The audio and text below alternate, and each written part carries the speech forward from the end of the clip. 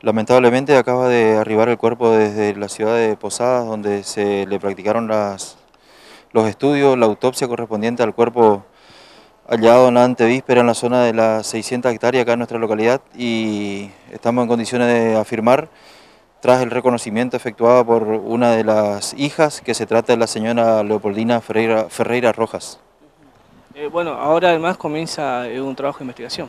Sí, el trabajo investigativo comenzó eh, ya hace, desde el día en que se radicó la denuncia por la desaparición de la señora. Eh, por último, bueno, este, el trabajo también, ¿no? el agradecimiento por parte de este, la Intendencia de Presión de Franco. Eh, sí, ellos estuvieron desde un principio interesados en el tema, ¿no es cierto?, dado que se trata de una ciudadana de nacionalidad paraguaya.